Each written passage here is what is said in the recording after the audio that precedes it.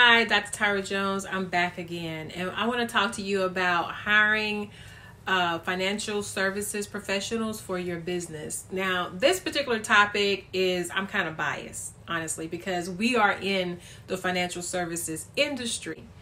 Because it is very important for you to understand that there's two sides of your business. There's the operational side of your business, which really and truly you're probably great at. No one is better than you in the operational side of your business than you are. You know, you know how to deliver the services, you know how to operate your business, but there's another side of your business, which in some industries, uh, well, with some companies, they call it the business of your business or the financial side of your business. And that's typically not the side of a business that most people are really, really astute to.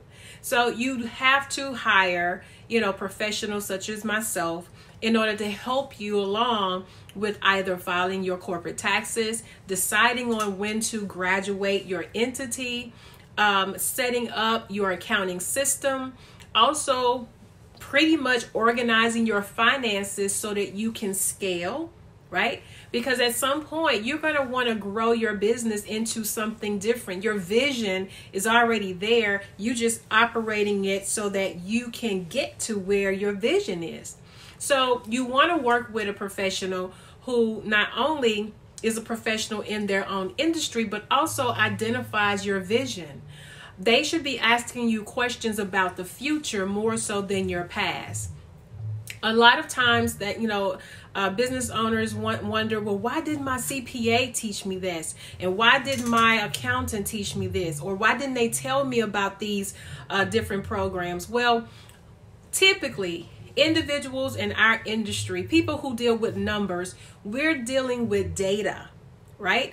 We don't, we, we can't, it's almost like we're robots. We can't function until there's data. But guess what? By the time the data is transferred to them, that is in the past, right?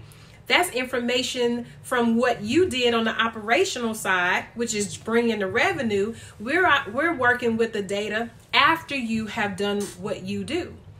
So, what you want to have is someone who is uh, professional at what they do, knowledgeable at what, what they do in the financial side of your business, but also forecasts. Also, have a mindset of uh, thinking forward in terms of your goals and your dreams and your visions of your business. So there are a lot of conversations that you should be having with your CPA and or your accountant on a quarterly basis that have everything to do with where you're going and not necessarily where you have been. Now, I know that we're talking about financial, you know, services, accountants, CPAs, but there's a professional that you really need to have in your corner as well, and that's an attorney you really need to have an attorney in your corner. But I know a lot of small businesses starting out, you really, you know, you may say, I can't afford an attorney. Well, we have some resources in this particular lesson where you can take advantage of finding out more information about uh, legal services in regards to your legal structure, in regards to advice on your taxes, you know, and these services are just a an accompaniment to the individuals whom you've already hired already in your business. So, anytime that you want to explore or that you need to explore or you're being advised to explore, different professionals who can actually help you to properly run your business.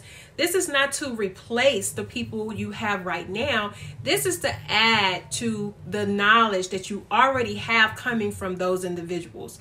And then in a lot of cases, like from our experiences, we work with a lot of our clients, CPAs and accountants and they've learned a lot from us because we're more so we're kind of a different entity right so, and we've learned from them.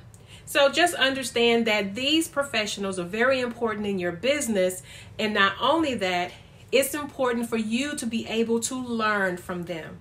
So, with that being said, I know you have some things in this particular lesson that you have to get taken care of. So, go ahead and do that, and I'll see you in the next video.